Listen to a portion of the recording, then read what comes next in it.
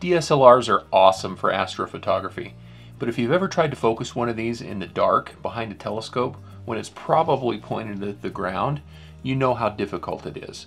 So what we're going to do today is we're going to show you how to use an Android device to hook up to this as an external monitor and be able to control all the functions on your camera.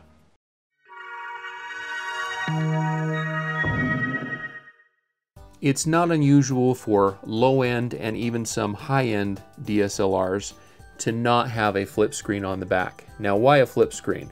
Well because of the viewing angle when we're doing astrophotography, the viewing angle becomes very important for a lot of things, especially if you use live view to focus your optical tube at night. Not having a flip screen was what drove me to find a solution to where I could use my phone, which is currently a Galaxy S8, or an Android tablet to monitor my camera by remote so that I could have a comfortable position standing as I'm doing astrophotography and be able to control those variables such as focus, ISO, shutter speed, things like that. Live view is a great tool, but if you can't see it and you have to crouch down and kneel down in the grass or wherever, that's not an ideal situation for astrophotography. Now there's a couple of things we're going to need before we start this. First of all, of course, you need a DSLR. This is a Canon T5. This is a very inexpensive camera. It's one of my first DSLRs. You have to make sure, however, that it has a USB port on the side. So this one has a mini USB port. The next thing you're going to need is a cable. So this cable is the one that came with my DSLR originally. It's a mini USB. You can see that in the top cam. Now this is the typical end of a USB cable. That's not going to fit into the back of my Galaxy S8. What I need is I need a USB-C connection. And so you would typically say, okay, well, we need some type of a gender changing device to change the regular USB to a USB-C. So if we do that, there we go. Now I can plug that directly into my cell phone. So if I take my Galaxy S8, that's ready to go. I can make a connection to my from my camera to the back of my phone. However, you have to make sure that you buy what's called a USB OTG connector. That's very important. This is not just a gender changing device. What this does is it's actually got some circuitry in there, and I have no idea how it works, that makes it so that your phone can decode the signal that's coming from your camera. Your camera's USB port is usually used to, to transmit information to a computer, like my MacBook here, or a Windows PC.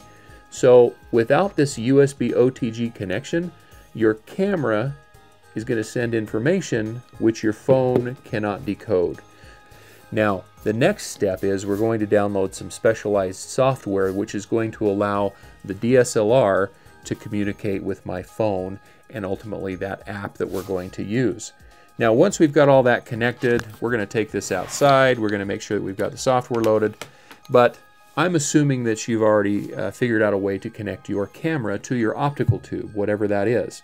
So what I have here is I have a William Optic GT81. This is my this is my dream telescope, and it's got um, a very nice rack and pinion focuser on the back. How I connect my DSLR to it is I have a special adapter that they've made for it. It's a field flattener. Take the lens off of my camera, go ahead and thread that right onto the bayonet mount and I'm ready to go. So let's download the software, get that running, we'll take it outside and we'll do some tests as far as focusing and controlling some of the features in the app. We need to download specialized software to our Android device which is going to allow us to control that camera by remote. So wander on over to the Google Play Store and do a search for DSLR controller you're going to be presented with all different kinds of options. Everybody and their dog makes one of these. There's Nikon, Canon, Sony, uh, third-party developers. There's all kinds of apps that are available to do what we're going to do today.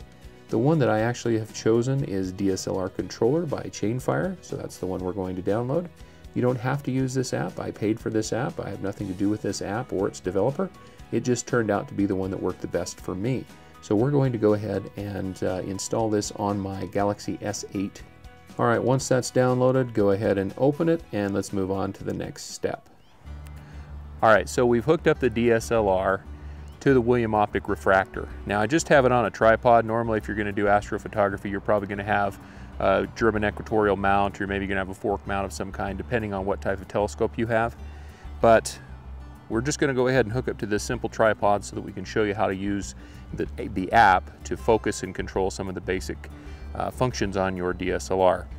So I've got my USB OTG connection on my micro USB cable which came with my camera.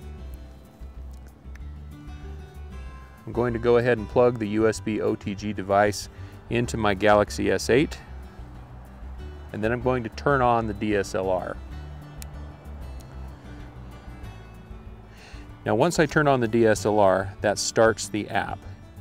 Now you can see there's all kinds of functions inside of the app. We've got a histogram, if that's something that's important to you. Maybe not for night photography, maybe it is. A couple of different uh, channels you can examine here. You've also got the shutter release button in the lower right hand corner. So if we tap, tap that, we can go ahead and capture an image. It's going to transfer it to my phone and allow me to look at it. That's obviously way out of focus. And so what we want to do is we want to make sure that this is focusing accurately, precisely, before we start taking astro images. Uh, so let's do that now. So basically I'm just going to grab the fine control on my GT81 and I'm going to focus this on the beautiful mountains with the snow. Bring that into focus and that looks pretty good. Now if you were doing this just with the screen on the back of your DSLR, even if it has a flip screen, so the, the DSLR that I'm using right now is a Canon 80D and it has a flip screen. But this T5 that I have hooked up to my telescope does not have a flip screen. Even your super high-end full-frame cameras like the EOS 1, uh, the EOS 5D, uh, the 6D, they don't have flip screens. And so your camera is going to be down lower and it's going to be tough for you to actually get in there and, and control some of these functions. So now that I have my image focused, I can go ahead and take an image, I can take a video, whatever I'd like to do. Now, if we were looking at a star, there's some other techniques that we're going to use, using things like a Bahtinov mask to get that star in perfect focus. And then you set your focus on your telescope's tube so that that doesn't change throughout the night probably.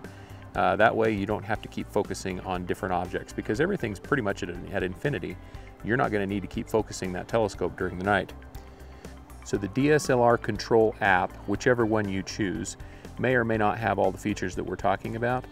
But the one that I've chosen, DSLR controller, that actually allows me to control pretty much everything that's available on this T5. Now this T5 is kind of a stripped down model, doesn't have every feature that the 80D does, but for astro imaging, it's just fine. This was actually one of my first DSLRs. It works great for astro imaging because it's got some pretty big pixels on it. It's an 18 megapixel camera. Once we start using a camera at night, we want to make everything as simple as possible.